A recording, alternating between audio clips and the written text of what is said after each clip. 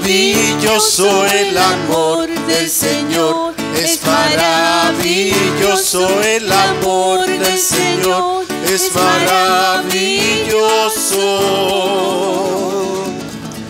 Grande es el amor de Dios. Tan alto que no puedo estar arriba de él. Tan puedo estar abajo de él. Tan ancho que no puedo estar arriba de él. Grande es el amor de Dios. El amor del Señor es maravilloso. El amor del Señor es maravilloso.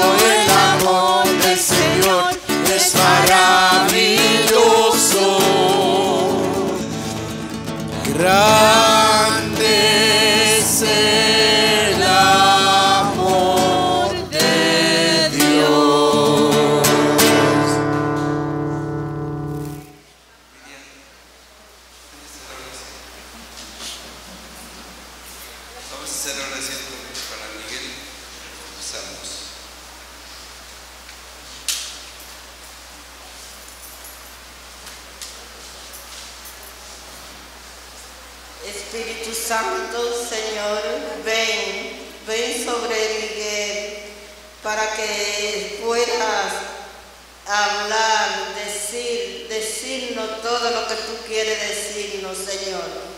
Ven, te lo pedimos en el nombre del Espíritu y de tus enviados, Señor Jesús. A ti, María, también te pedimos. Ven con tu amor a, los conocimientos que, que tiene Miguel, que lleguen a nosotros como tú lo quieras. Dios te salve María, llena eres de gracia, el Señor es contigo.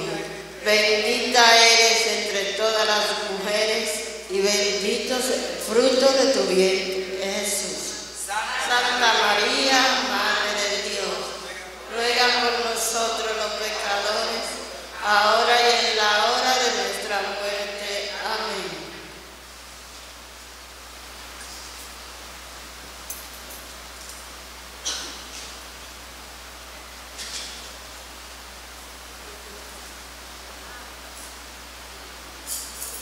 Bien, buenas tardes a todos.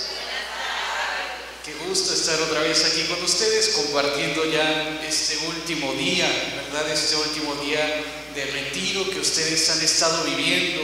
Seguramente después de estos dos días yo ya puedo comenzar a oler la santidad de todos desde que llegué. Y dije, qué bonito huele ya, se me están haciendo santos esta gente. Muy bien, ¿verdad? Esa es la meta. Ya por ahí algunos veo que les empieza a brillar la aureola también, que les empiezan a salir las alas. Jesús, muy bien. Pues vamos a iniciar con este último tema, ¿verdad? Como decía el Padre Bendito, es ya el último tema de este retiro de Cuaresma y precisamente vamos a hablar de la metodología de Jesús. Ayer hablábamos de la pedagogía de Jesús, ¿verdad? De el proceso a través del cual Jesús nos va formando en sus discípulos, ¿verdad? Hoy vamos a hablar de la metodología de Jesús. ¿Cuál es el método que él va utilizando para poder ir formando a sus discípulos y para que a su vez esos discípulos Jesús cautiva, esos discípulos que Jesús atrae, se conviertan también en formadores para los demás. Por eso es que nosotros, hermanos, y se ha estado repitiendo varias veces aquí en el retiro, ¿verdad? Nosotros somos discípulos del Señor, pero también somos qué cosa? Misioneros, ¿verdad? No solamente aprendemos de Jesús, sino que también contagiamos, llevamos, anunciamos su enseñanza a los demás. El cristiano tiene que ser así, ¿verdad? discípulo y misionero. Entonces miren hermanos, ¿cómo vamos a ver esto, este tema del día de hoy? Lo vamos a ver desde una óptica bien particular y de algo que nosotros celebramos cada domingo o que celebramos incluso todos los días, ¿verdad? Vamos a ver la metodología de Jesús, pero desde la Eucaristía. Vamos a ir viendo cómo la Eucaristía, la celebración de la misa, del misterio pascual del Señor, es un verdadero camino formativo para el discípulo misionero de Jesús. Es un verdadero camino que nos va haciendo crecer y nos va haciendo madurar en la fe cuando sabemos vivirla de la manera adecuada. Yo creo que a lo largo de nuestra vida nosotros hemos participado en muchísimas misas, muchas, muchas misas, ¿verdad?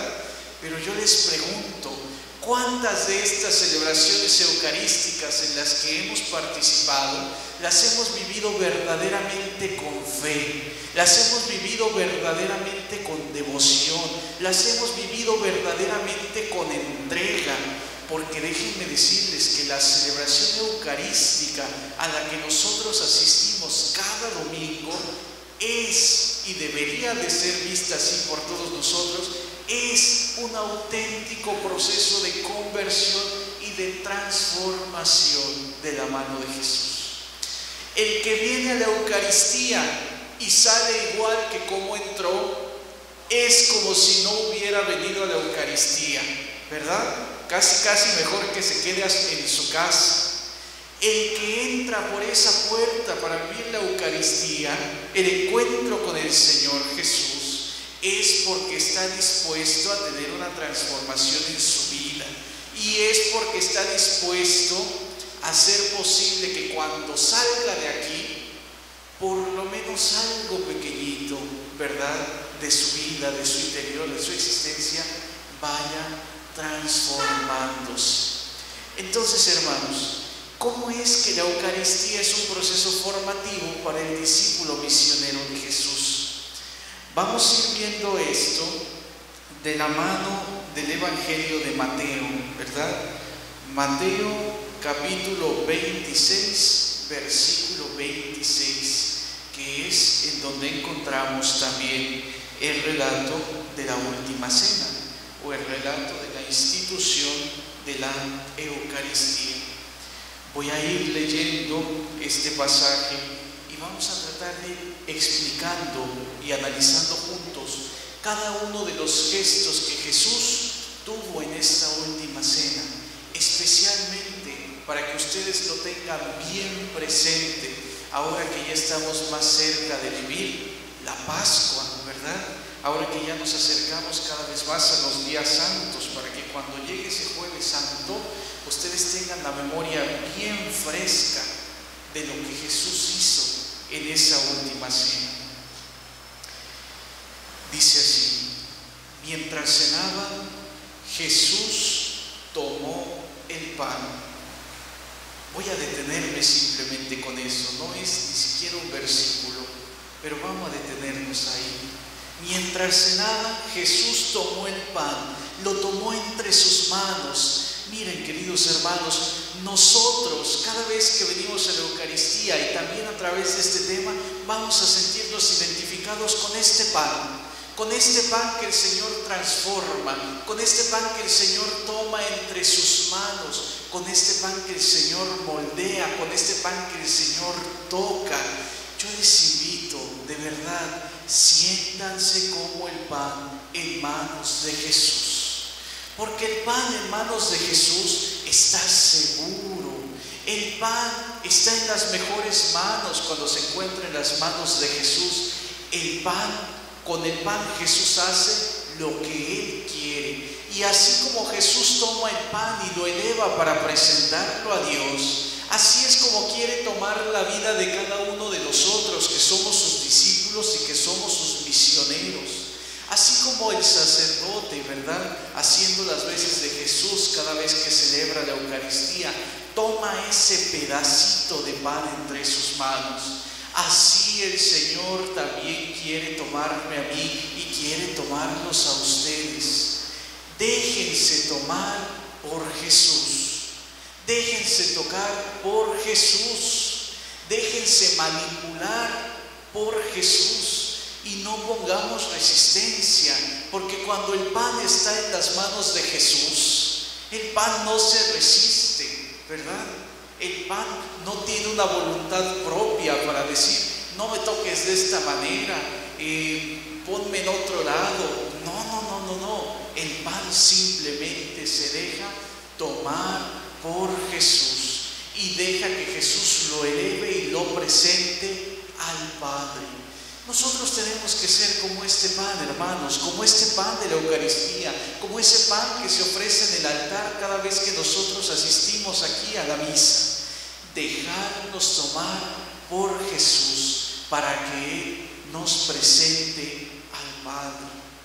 Yo no sé si se recuerdan aquel pasaje del alfarero. ¿Lo recuerdan?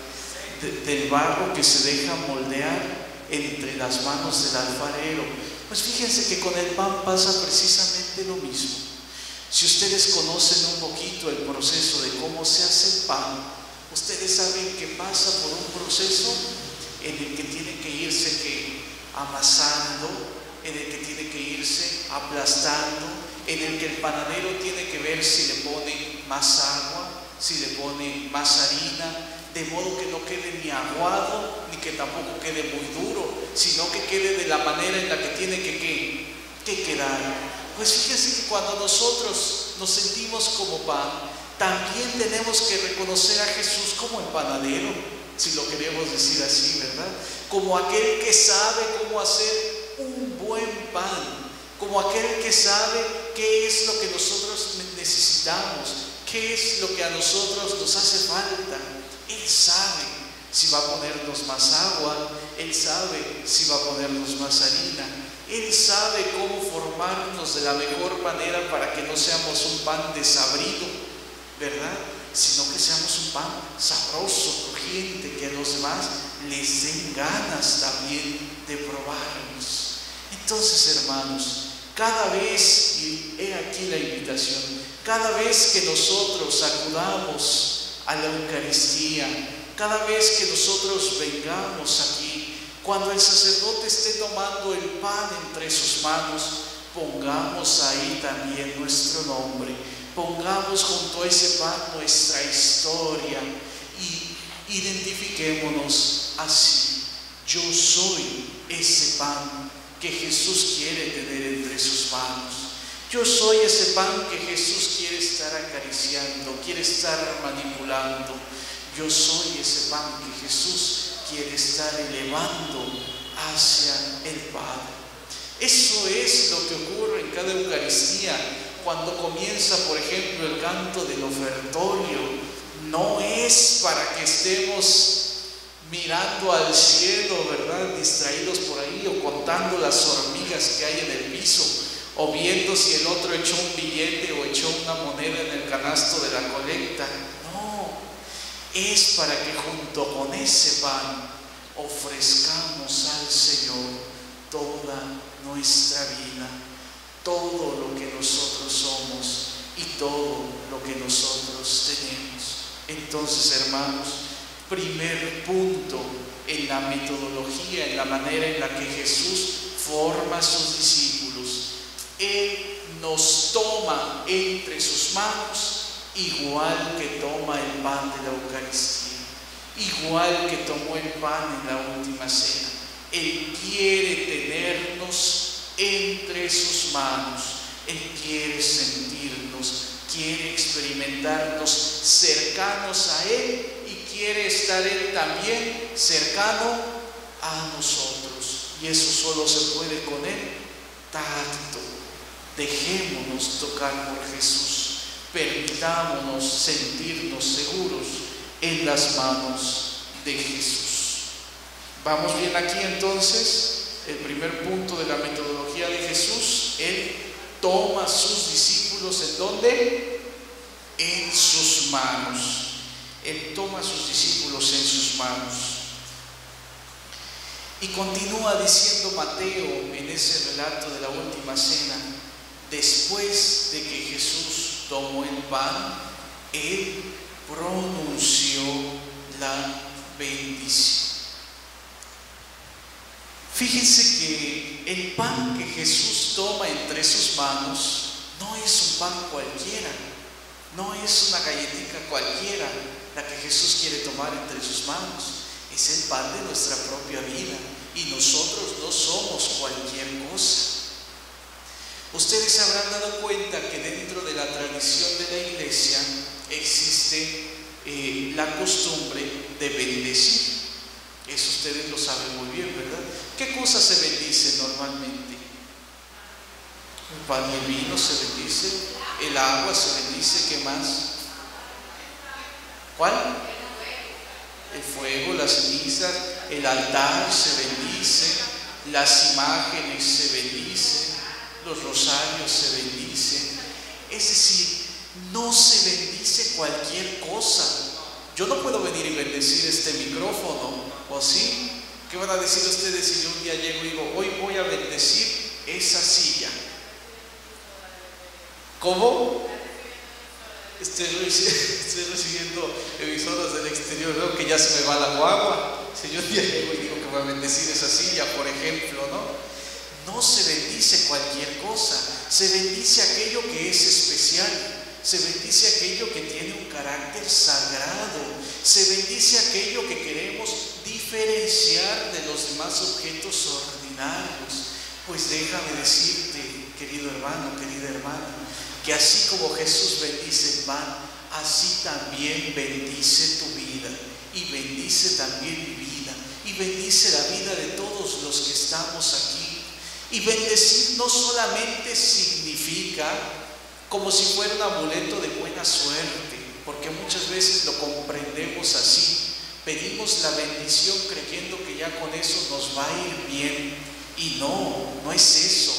La acción que Jesús tiene de bendecir, la acción que la iglesia ha seguido conservando en su tradición de bendecir aquello que es especial, es precisamente para recordarte que tú no eres un objeto más, que tú no eres un ser ordinario más.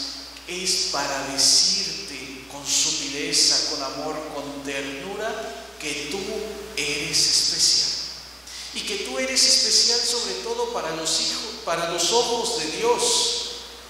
Que nosotros somos especiales sobre todo para los hijos de Dios porque Él nos acoge así y Él nos contempla así como hijos suyos, como una obra de sus manos.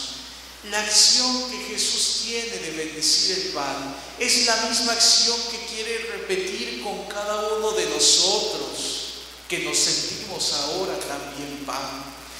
Nos bendice. Pero fíjense que la bendición, el ser bendecidos por Dios, el ser bendecidos por Jesús, exige también un compromiso de nuestra parte.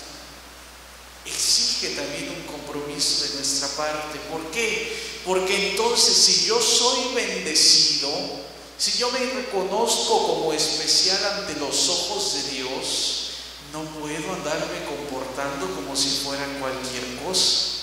Y no puedo permitir que en mi corazón, en mi vida, en mi interior, darle cabida a cualquier sentimiento, a cualquier emoción, a cualquier impulso o a cualquier deseo. ¿Por qué? Porque yo ya me reconozco bendecido, yo ya me, yo ya me reconozco especial para Dios, yo ya me reconozco casi, casi, vamos a decirlo así, consagrado, apartado, predilecto ante los ojos del Padre. Eso es lo que provoca Jesús en nuestras vidas con la acción de bendecirnos. Esa es la conciencia que debería de despertarse en cada uno de nosotros, queridos hermanos y hermanas. Somos bendecidos por Dios, estamos apartados por Él, nos bendice porque nos considera especiales. Si fuéramos cualquier objeto como una silla o lo que sea, un objeto inanimado, ni siquiera se molestaría en llenarnos de sus gracias, en llenarnos de sus bendiciones. Pero y entonces, Yo cómo le respondo a Dios. Yo cómo le respondo a Dios con todas las bendiciones que Él manifieste en mi vida. De qué manera yo le demuestro que estoy agradecido. De qué manera yo le demuestro que le quiero dar las gracias por hacerme sentir especial por medio de sus bendiciones. Y es que muchas veces, hermanos y hermanas, la ingratitud es la que encabeza nuestras vidas. Y en lugar de dejarnos llevar por la gratitud hacia Dios que nos bendice en abundancia, nos dejamos llevar más bien por la ingratitud y por la indiferencia, incluso hacia Dios.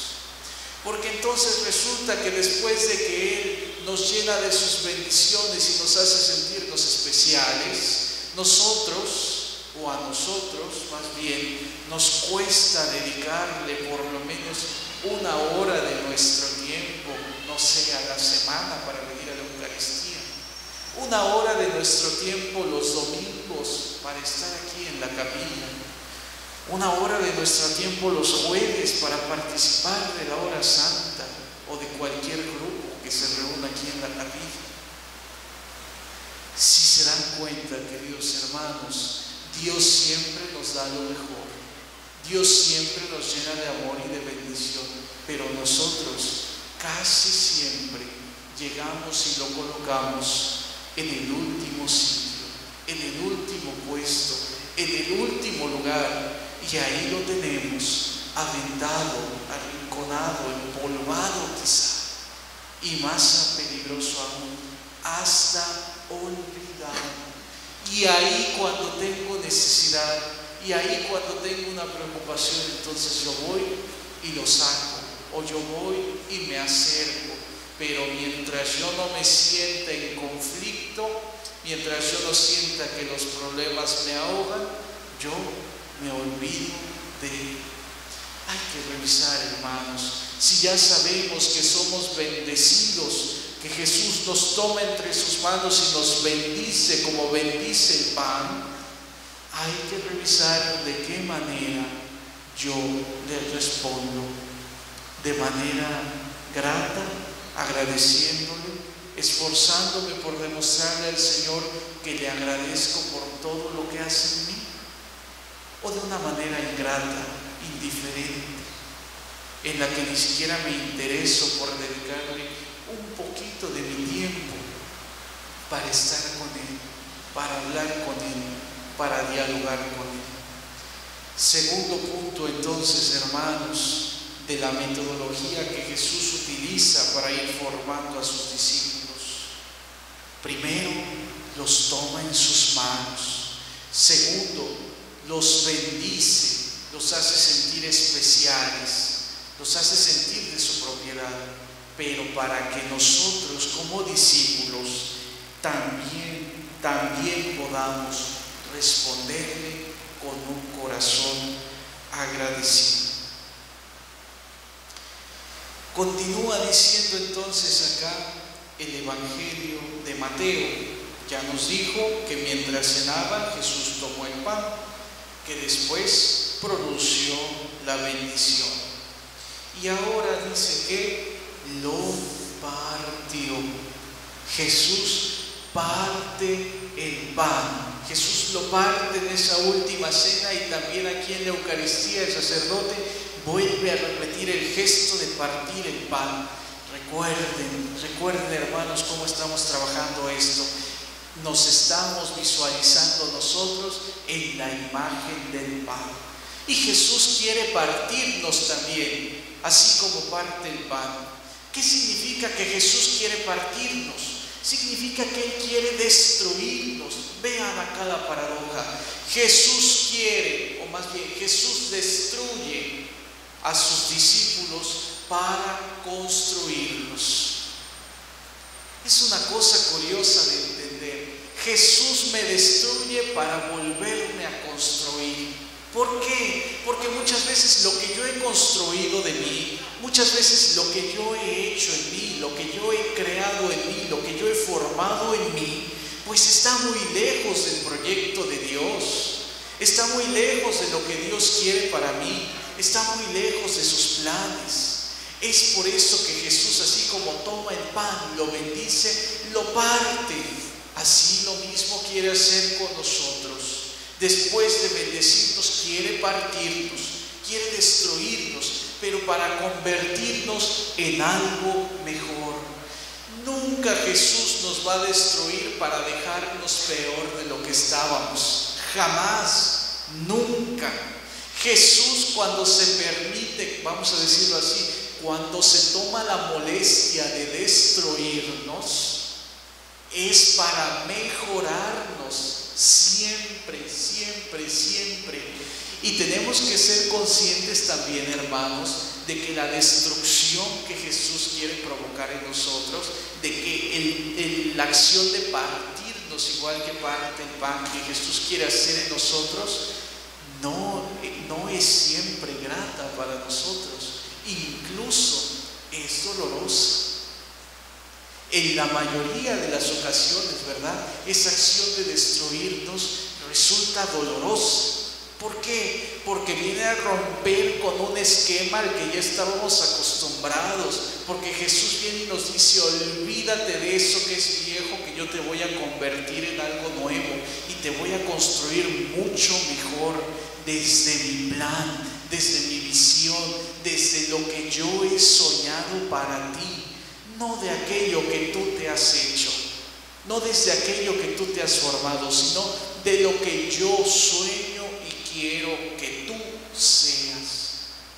Ustedes saben que cuando alguien, los artistas, ¿verdad? Sobre todo, están haciendo una escultura que necesitan un martillo y un, y un cincel, ¿verdad? Y es ponerse a darle, pero duro y con ganas, hasta que coja una forma estética, hasta que coja una forma bonita, ¿verdad?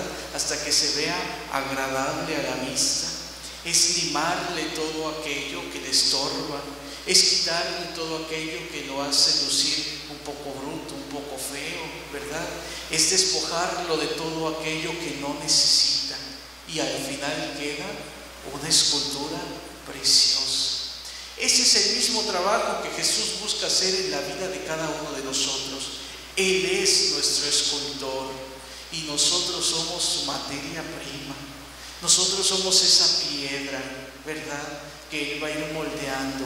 Esa piedra a la que quizá Él va a ir golpeando también, a la que le va a ir dando con el cincel. Pero no tengamos miedo cuando Jesús venga y nos golpee, por ejemplo, nuestro orgullo. No tengamos miedo cuando Jesús venga y nos dé un martillazo, por ejemplo, en nuestra falta de humildad. No tengamos miedo cuando Jesús venga y nos dé otro martillazo en nuestra soberbia, porque todo eso quiere irlo quitando de nuestra vida para que seamos una auténtica obra de arte delante de sus ojos. Entonces, hermanos, dejémonos partir por Jesús. Dejémonos partir por el Señor, así como parte el pan, con esta conciencia de que Él me destruye. ¿Para qué? Para construirme. Y me va a construir siempre de una mejor manera, con un mejor material, con una mejor calidad de la que yo me puedo imaginar. Tercer, tercer paso de la metodología de Jesús. Primero, toma a sus discípulos en sus manos. Segundo, los bendice. Y tercero, los parte, ¿verdad? Rompe sus esquemas, los destruye para volver a construirlos desde la visión que Él tiene.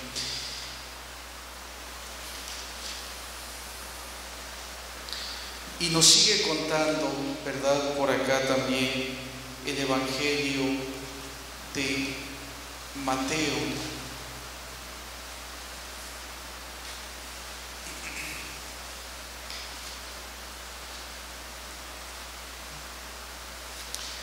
Dice que Jesús ya tomó el pan en sus manos, ya lo bendijo, ya lo partió y ahora dice que lo repartió.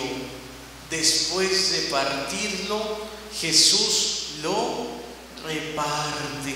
Jesús lo entrega a los demás.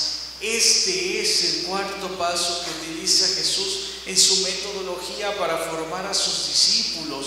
Ya los tomó en sus manos, ya les hizo ver que son especiales con su bendición, ya los destruyó para volver a construirlos. Y una vez que está en ese tercer paso, entonces ahora sí que hace, lo, lo reparte, lo entrega para los demás, lo entrega para que ese pan sea alimento para los demás. Pero fíjense una cosa bien especial en este punto, queridos hermanos. Uno solamente se atreve a compartir y a repartir aquello que, que aquello que me pertenece, ¿verdad? Yo no puedo llegar a la casa de Flor y ponerme a repartir su despensa a los pobres, porque Flor me va a sacar a palos de ahí por estarle quitando sus cosas, ¿verdad? Por ejemplo, yo solamente puedo repartir aquello que, que, que me pertenece. Entonces, miren, cuando Jesús llega a este punto con sus discípulos, cuando Jesús llega a tener el deseo de repartirlos para los demás, es porque Él ya está convencido de que el discípulo le pertenece, de que es ya de su propiedad. Y como ya es completamente de su propiedad, entonces Él puede ir y hacer lo que quiera con ese discípulo, ¿verdad? Con ese discípulo misionero que Él está formando. Él puede ir y hacer ya lo que quiera y puede ir y dárselo a quien Él quiera.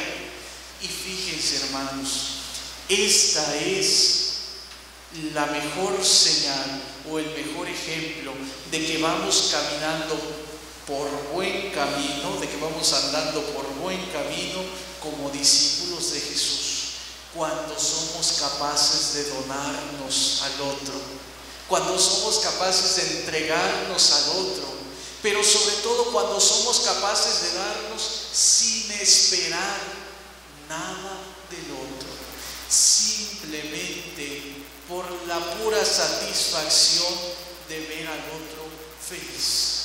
Y por la pura satisfacción de saber que yo contribuí con mi entrega, con mi disponibilidad, con mi servicio, que yo contribuí a que el otro sentirse feliz.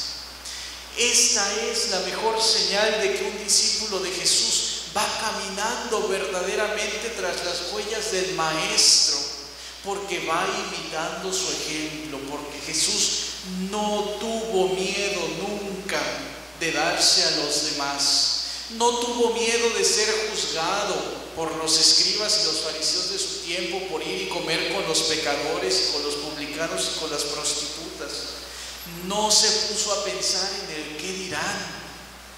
No se detuvo a preocuparse por los demás. Simplemente sentía que el Padre le pedía entregarse por completo y él se entregó por completo. Eso es lo que también nos pide el Señor a cada uno de nosotros que somos sus discípulos. Él quiere formarnos en la gratuidad, en la donación gratuita hacia los demás, sin que esperemos nada a cambio, sin que esperemos que nos recompense. Y esto de verdad, hermanos, yo se los aconsejo. Cuando hagan una obra de caridad, cuando vayan a, a compartir algo con alguien, háganlo siempre con aquel que tiene la menor posibilidad de retribuirse. Porque ahí es donde las cosas cobran un verdadero sentido y tienen una mayor validez. Que fíjense que muchas veces el hacerle un favor a alguien, el tener una buena acción con alguien, muchas veces ya está contaminado en medio del mundo en el que vivimos. Es poca la gente que todavía sigue dando sin esperar, porque incluso nosotros en nuestra vivencia de fe cristiana seguimos teniendo esta concepción, yo doy al que necesita para que Dios me dé a mí. Yo doy al que necesita para que Dios me lo tenga en cuenta cuando yo llegue allá al cielo y me perdone lo que otro de mis pecados. ¿Qué hacemos? Ahí nuestra acción ya va manchada por el interés, quizás sin darnos cuenta, pero ya va manchada por un interés. Ya no lo estoy haciendo con una verdadera gratuidad. Jesús no actuó de esa manera y tampoco quiere que el discípulo que él reparte a los demás como reparte el pan actúe de esa manera. Él quiere que ese discípulo misionero que Él va formando se entregue simplemente, ni siquiera sin pensar en la recompensa que le vendrá después, ni en esta vida ni en la futura. Simplemente que se entregue por amor, que se entregue con pasión, que se entregue siguiendo las huellas del Maestro. Cuarto punto entonces que Jesús hace con nosotros como discípulos, lo, nos reparte para los demás, hace de nuestra vida o de nuestra vida de discípulos, hace un discipulado fecundo. ¿Qué significa que Jesús hace de nosotros un discipulado fecundo? Significa que hace un discipulado que genera que genera frutos. De acuerdo a ustedes aquella frase del Evangelio que dice que por sus frutos los conocerán. Así que ya vimos que Jesús nos toma, que Jesús nos bendice, que Jesús qué? Nos parte y luego que qué? Y luego que nos reparte. Ese es el itinerario a través del cual Jesús va formando a sus discípulos. Y continúa diciendo acá Mateo en el relato de la última cena.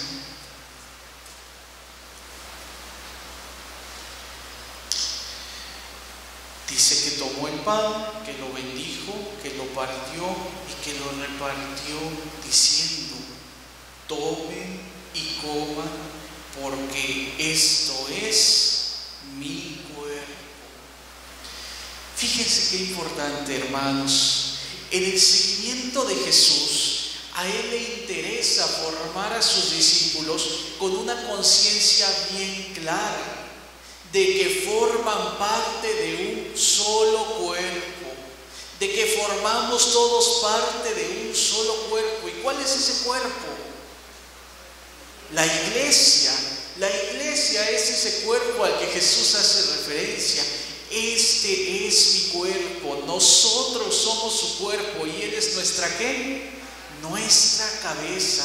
Es por eso que no podemos andar por la vida manejándonos a nuestro antojo o haciendo lo que queramos, porque el cuerpo no se coordina por sí solo. El cuerpo necesita necesariamente de qué? De la cabeza. Ustedes saben, ¿verdad? Por los estudios de medicina y demás, que es el cerebro el que da las órdenes para todo. Y si algún día alguien llega a tener algún problema eh, cerebral, pues prácticamente queda sin poder hacer nada, ¿verdad? El resto de su vida. Es decir, la cabeza es la encargada de mover el cuerpo y Jesús quería que sus discípulos fueran bien conscientes de esta condición. Nosotros no somos cabeza, por eso no podemos manejarnos a nuestro antojo. Nosotros somos el cuerpo y nuestra cabeza es Cristo. Por eso tenemos que manejarnos, vamos a decirlo así, al antojo de Cristo. Solo Él puede ordenarnos, solo Él puede decirnos para dónde, solo Él puede decirnos cómo, solo Él puede decirnos cuándo, porque nosotros como discípulos de Jesús tenemos que entender y que nos quede esto bien claro. Él es la cabeza, Él es quien nos conduce, Él es quien nos muestra el camino. Si nosotros que somos cuerpo comenzamos a sentirnos cabezas, lo más probable es que nos equivoquemos de dirección. porque no estamos hechos para ser la cabeza, sino para obedecer a Cristo, que es la única cabeza de nuestro cuerpo, que es la iglesia. Esto por un lado, cuando Jesús dice esto de que somos su cuerpo, quiere dejarnos bien claro que Él es la cabeza. Y la segunda cosa que quiere dejarnos clara con esta idea es de que nosotros somos una familia, de que nosotros somos una comunidad cristiana. Y como familia debemos de concebirnos como tal.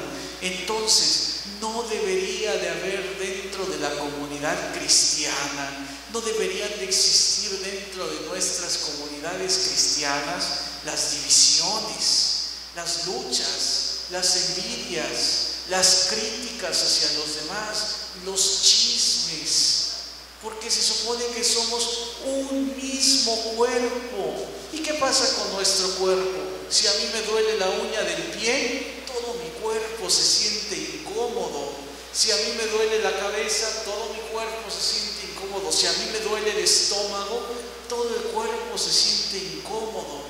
Y es así como deberíamos de sentirnos todos los cristianos, sentir el uno por el otro, sentir la preocupación de unos por otros, sentir la necesidad de ir desarrollando en nuestros ambientes eclesiales y familiares un verdadero sentido de familia, un verdadero sentido de cuerpo, una verdadera unidad.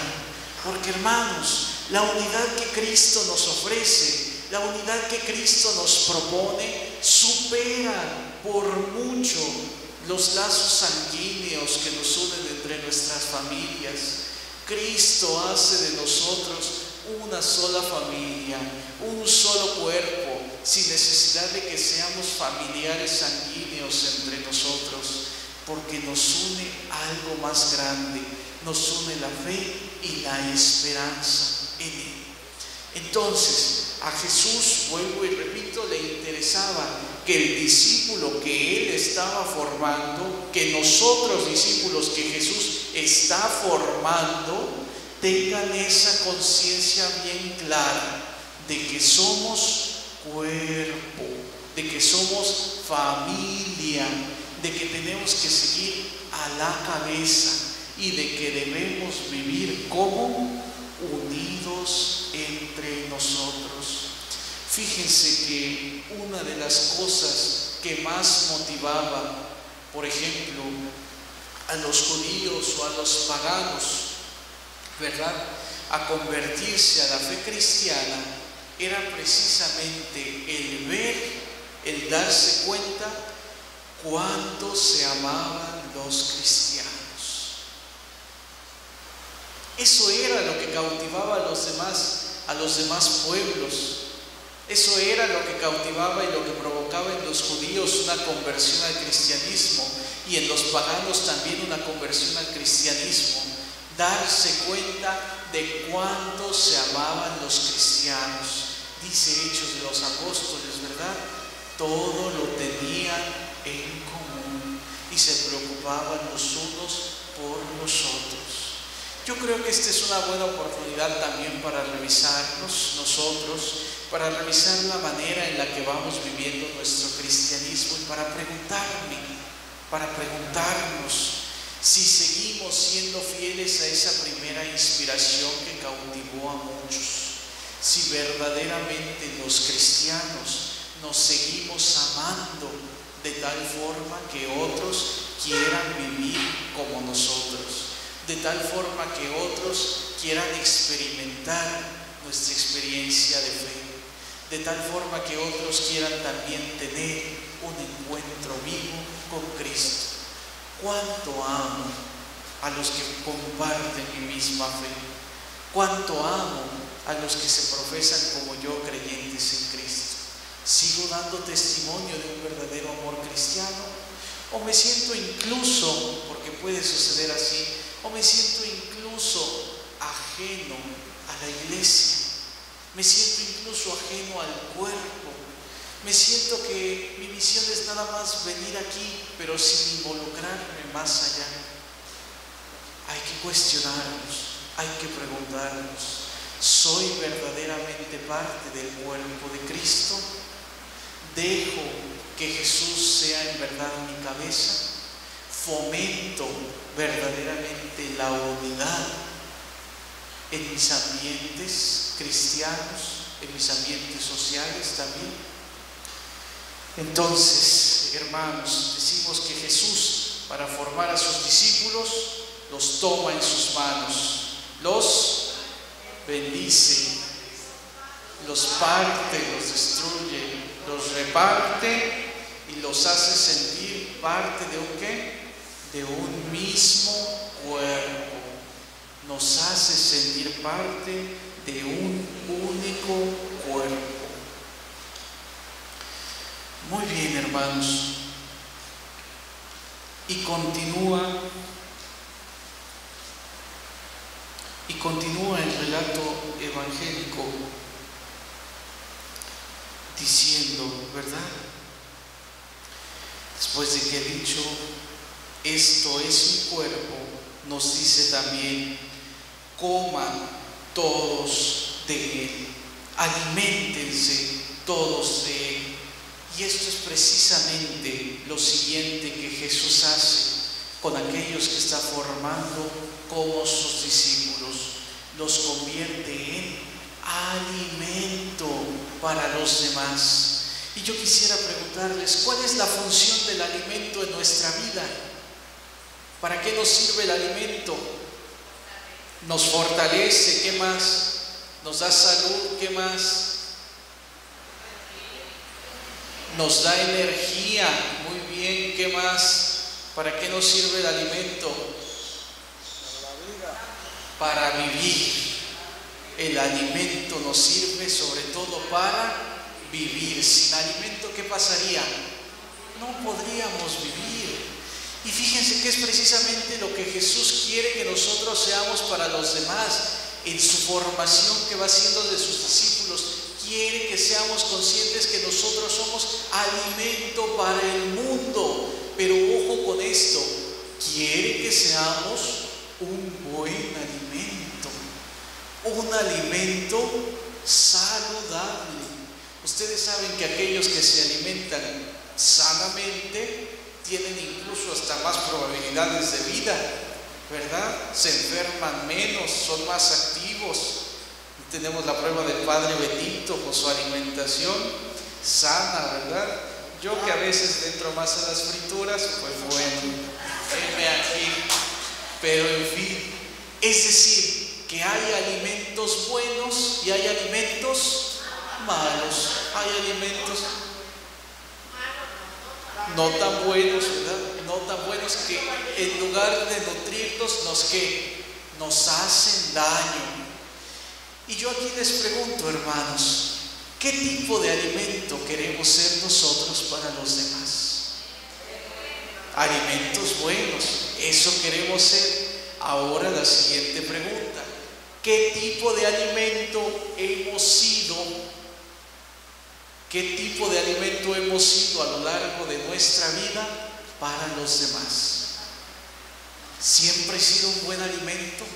¿Siempre he sido un alimento que da energía, que da vida, que da salud, que hace sentir bien al otro? A veces nos damos cuenta de que no.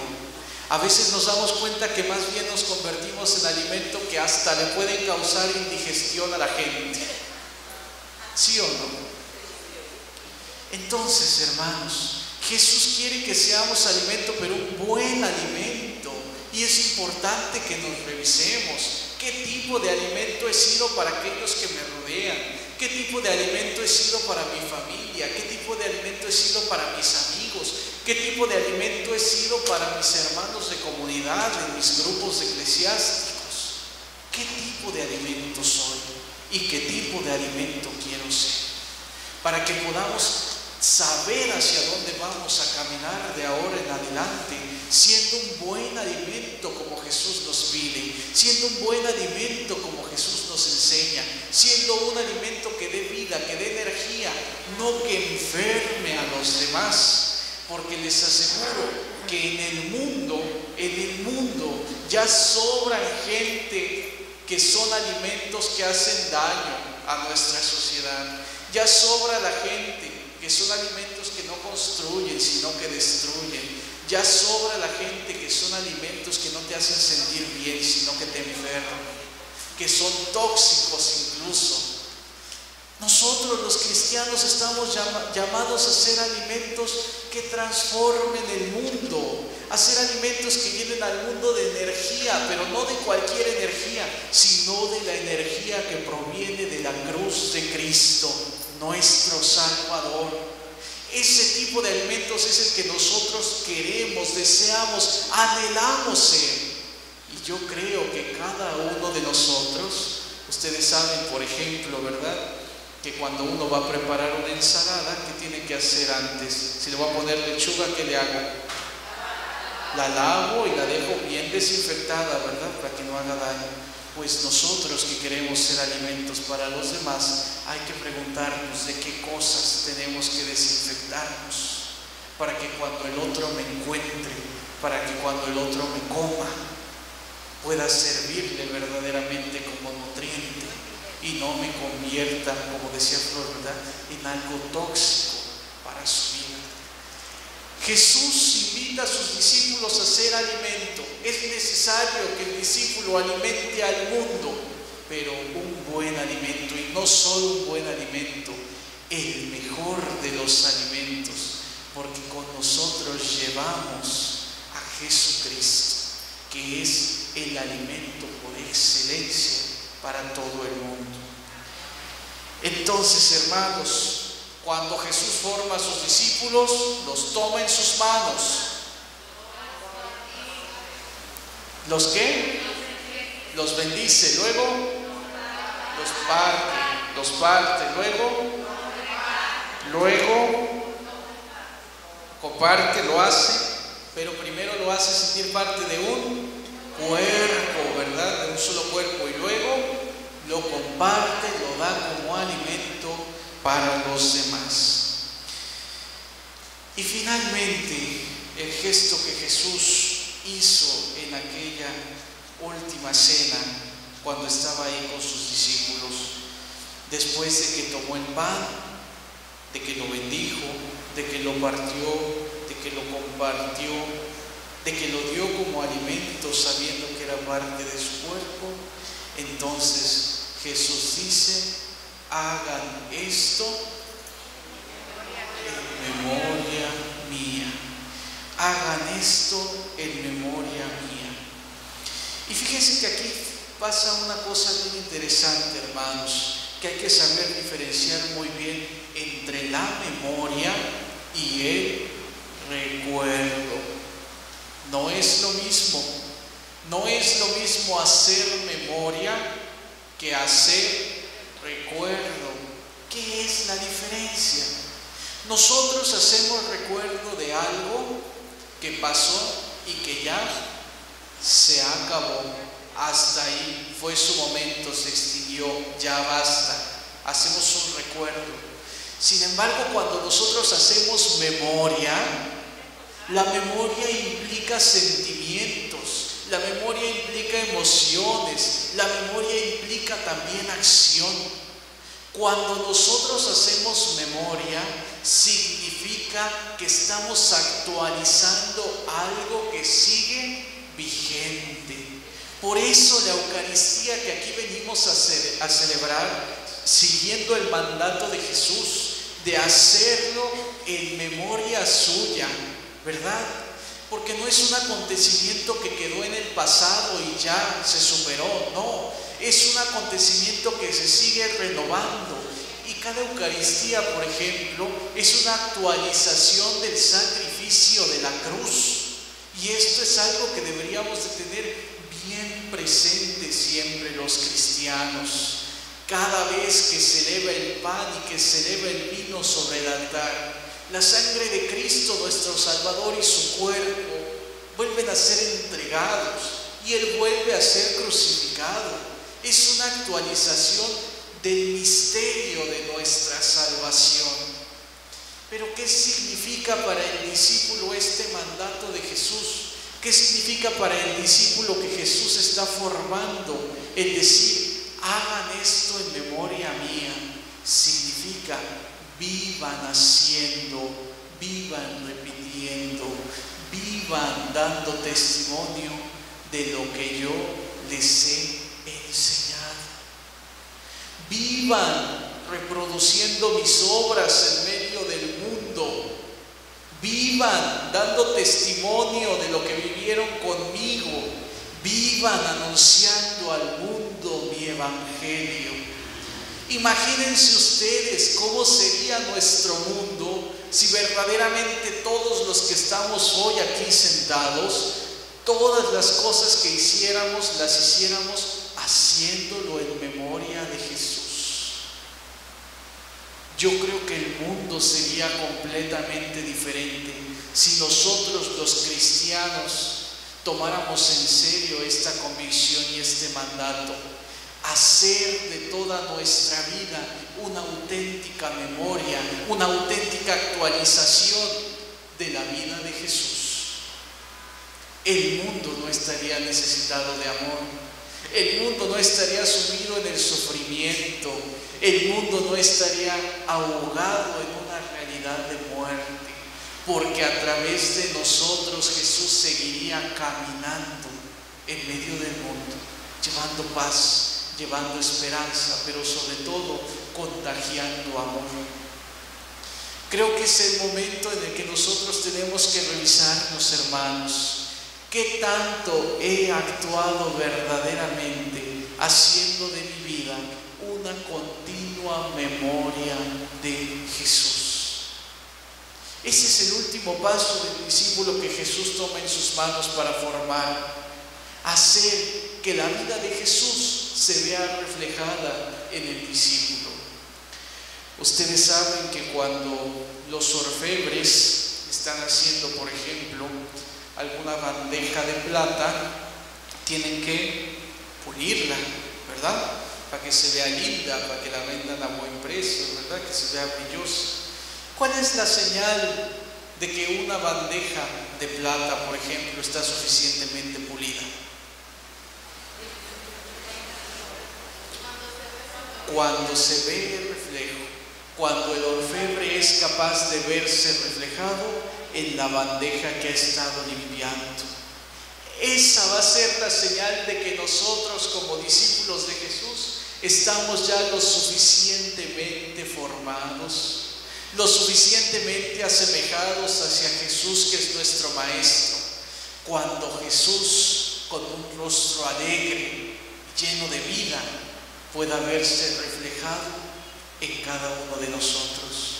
Por eso nos dice, actúen en memoria mía, hagan esto en memoria mía, repitan mis actos, repitan mis obras, porque yo quiero que el mundo me vea a mí reflejado en cada uno de ustedes.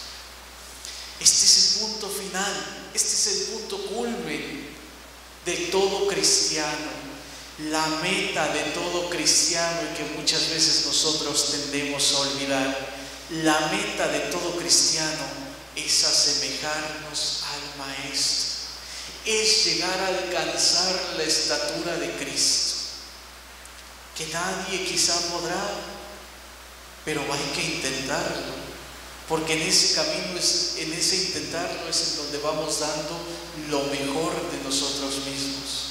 Si todos los ejemplos de santidad que tiene la iglesia, hombres y mujeres, laicos, religiosos, sacerdotes, han llegado a ser santos, es porque entendieron precisamente este concepto, que su meta es llegar a ser como Cristo, que su meta es llegar a ser otro Cristo en medio del mundo.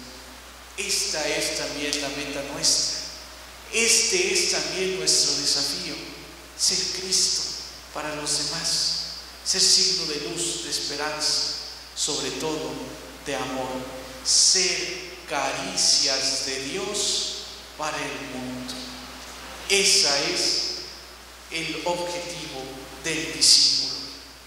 Entonces, hermanos, simplemente para repasar, dijimos entonces que Jesús forma a sus discípulos con esta metodología, los toma en sus manos. Luego los bendice, luego los parte, los reparte, los hace sentir parte de un cuerpo, los da como alimento para los demás y les invita a, les invita a hacer memoria de todas sus acciones, les invita a ser un reflejo suyo en medio del mundo. Yo creo, hermanos, y con esto termino, que una vez conociendo estos pasos que Jesús utiliza para formar a sus discípulos, nosotros deberíamos de preguntarnos, ¿en cuál me encuentro yo? ¿En dónde me encuentro yo? ¿En qué paso estoy yo? Ya pasé por el primero, estaré quizá en el tercero, estoy en el proceso de llegar al último o ni siquiera he comenzado, ni siquiera he dejado que el Señor me tome como el pan entre sus manos. Y una vez que ubiquemos en donde nos encontramos nosotros, con todo el ánimo y con toda la entrega, permitirle a Jesús que siga trabajando en nuestra vida, que siga formándonos, porque no solo nos, nos forma a nosotros, sino que nos hace también formadores de nuevos discípulos con nuestro testimonio de vida. Que así sea.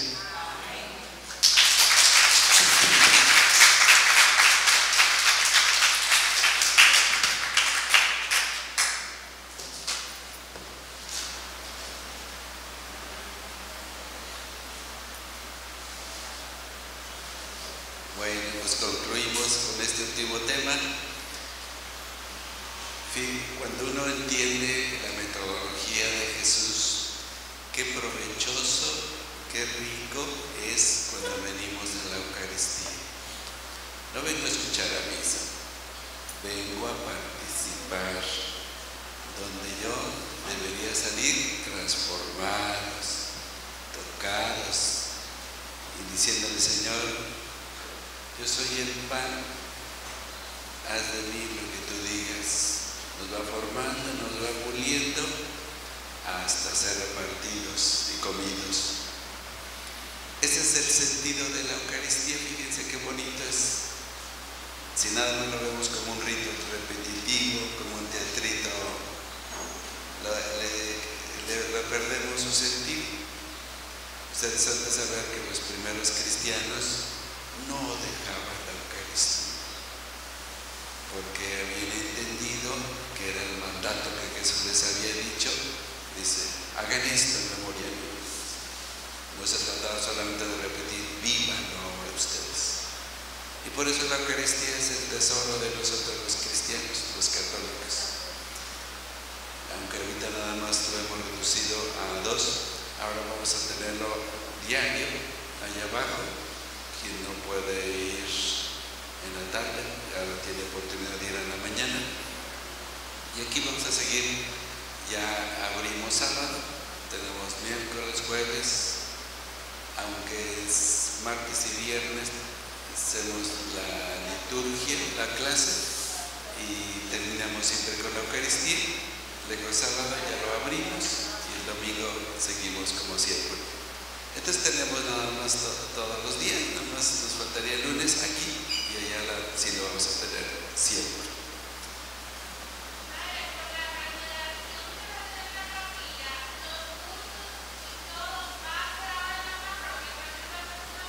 Es lo que yo les iba a preguntar. Eh, a Mabel le dijo que iba a suspenderse aquí para que puedan pintarse y ir allá. Si pintamos en dos tres días, pues hasta podemos regresar ya.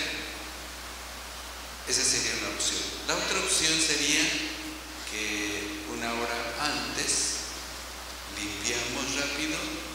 Normalmente no creo que llenemos todo local, todo el salón. Si limpiamos nada más medio parte, podemos seguir celebrando aquí.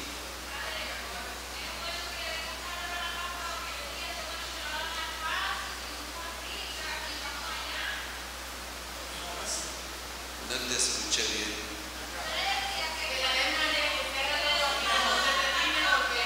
Ah, ya por esta semana. Eh, entonces también la clase, eh, martes y por el viernes.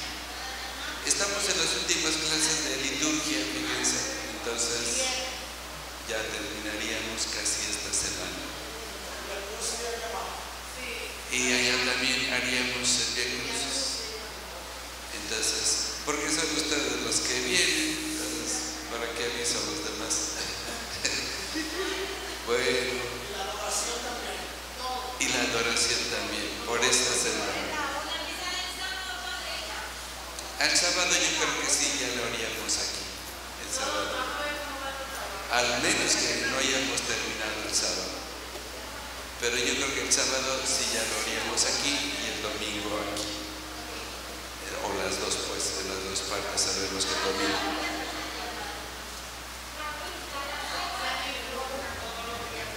A las seis es la misa eh, y los, los sábados también a seis. Bueno, pues, a ver si. ¿Quién puede hacernos el letrero? Alguien que vive cerca. Poner el letrero. Por esta semana estamos celebrando allá abajo. Si alguna de ustedes que por su edad o por sus condiciones no puede, por esta vez nos disculpe. Eh, vea el canal, estamos subiendo todos los días. Fíjense, los mexicanos están entrando más.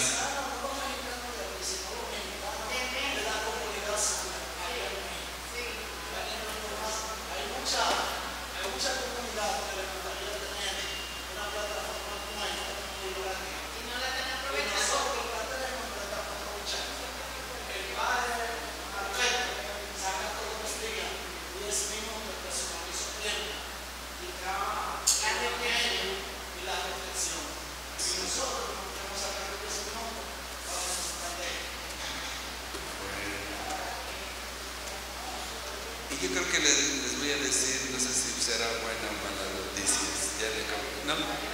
Bueno, entonces lo dejamos. Este, gracias. Vamos a terminar con un momento de oración y, nos- y les agradecemos su participación. Yo creo que quien ha vivido plenamente el retiro va con muchas vitaminas ahora. Hemos aprendido que ser discípulo tenemos que ser misioneros. Hemos aprendido quién es nuestro maestro, su pedagogía, su metodología y ahora necesitamos seguir formándonos. Los apóstoles siguieron alimentándose de la palabra de Dios, hacían siempre oración, participaban en la Eucaristía y propagaban el Evangelio. Así dice Hecho de los Apóstoles. Bueno, te damos gracias Señor por estos dos días que hemos, hemos escuchado tu palabra. Ella ha sido nuestra luz, nuestro guía. Danos la luz de tu espíritu para comprender lo grandioso que es seguirte, ser discípulo tuyo o tuyo. Danos la disponibilidad que tuvo la Virgen María, que ella fue la más perfecta discípula, de escucharte, de hacer tu voluntad, de meditar siempre tu palabra. Danos el espíritu de participar en la Eucaristía, ahora lo entendemos mejor, para formarnos y ser formadores y ser buenos discípulos tuyos. Queremos ser materia disponible como el barro, Señor, para que tú nos vayas formando poco a poco, para ser imágenes bellas como lo hiciste con la Virgen. Te lo Padre nuestro que estás en el cielo, cielo, santificado sea tu nombre. Venga a nosotros tu reino. Hacer tu voluntad en la tierra como en el cielo. Nos hoy nuestro pan de cada día. Perdona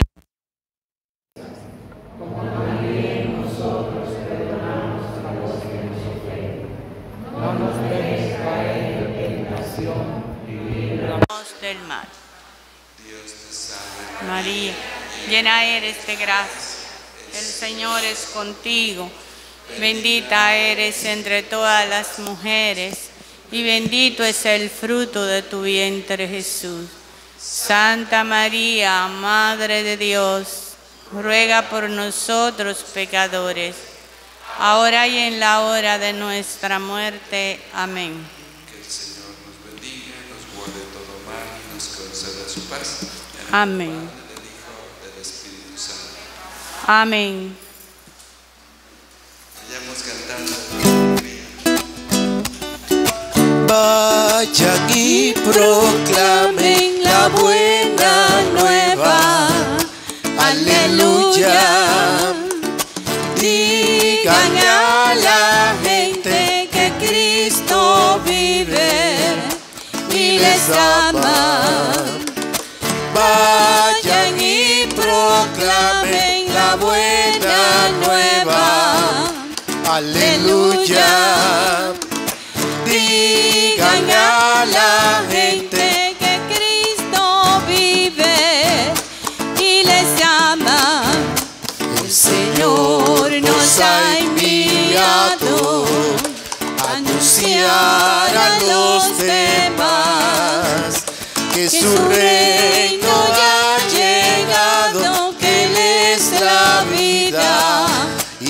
verdad. Vayan y proclamen la buena nueva. Aleluya. Digan a la gente que Cristo vive y les ama. Vayan y proclamen la buena nueva. Aleluya.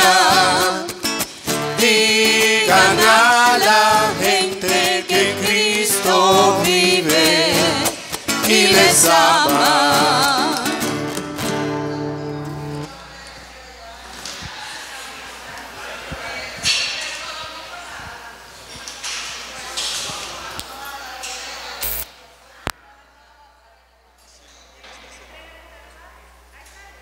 bendición de Dios Todopoderoso, Padre, Hijo y Espíritu Santo, descienda sobre ustedes, que los acompañe siempre. Que el Señor los bendiga.